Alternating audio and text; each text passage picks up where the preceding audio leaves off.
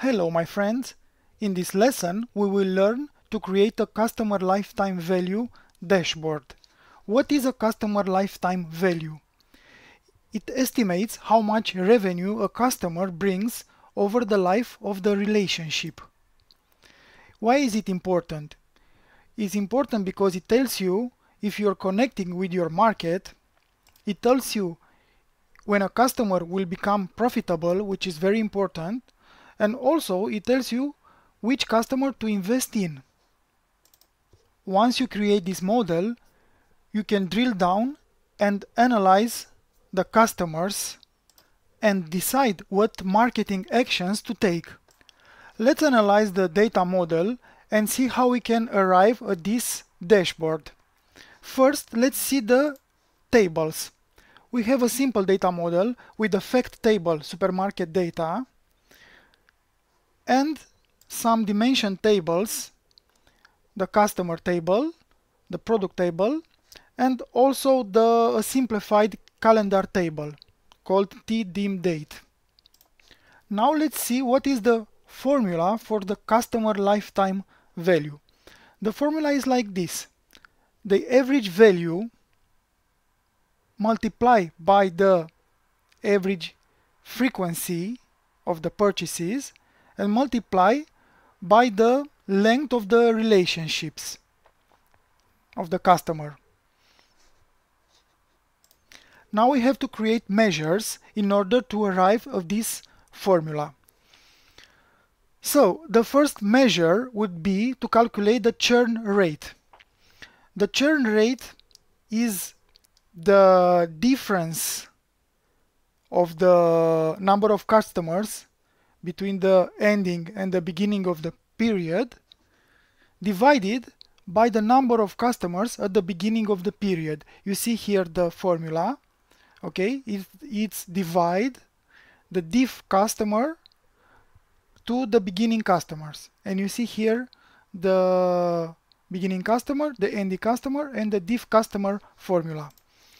The active member is here, distinct count of the customer key okay to count the number of customers. And then the active member previous month is the same number of unique customer but of previous month. Then we have some auxiliary measures number of orders the count of the sales order number the number of customers distinct count of the customer key and total sales. I will provide a, a Google Sheets document in the first comment of the video with all the code. So don't worry about the code. Now just try to understand the logic. So now we arrived at the first member of the formula, the average purchase value, which is the division between total sales and the number of orders. The second member of the formula is the average purchase frequency, which is a division between the number of orders and the number of customers. And the third one, average customer lifespan, is the reverse of the churn rate that we see before. Okay, it's 1 divided to the churn rate. I will insist on this formula so you can understand it better.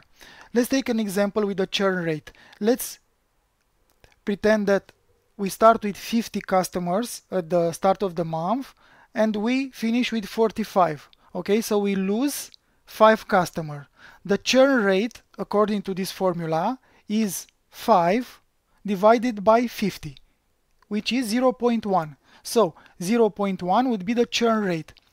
That means that the average customer's lifespan is 1 divided by 0.1 which is 10 what does it mean?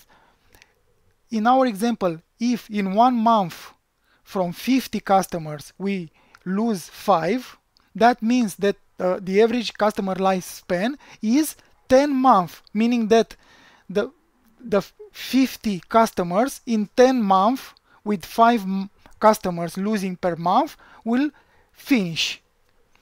So this is the average customer's lifespan. And now we have the final formula, customer's lifetime value, where we multiply all these three measures.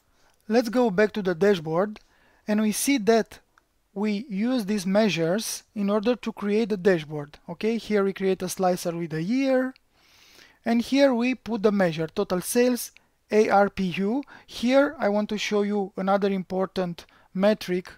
This is mostly used in telecommunications. The average revenue per user. Okay, so the formula is like this. It's total sales divided by the number of distinct customer, average revenue per user. And here we put in a matrix the majority of the measures and here we have some graphs. Okay we change the year.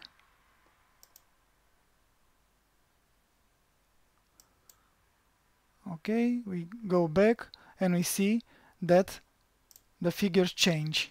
And this way we analyze each year what happened and each month with our customers.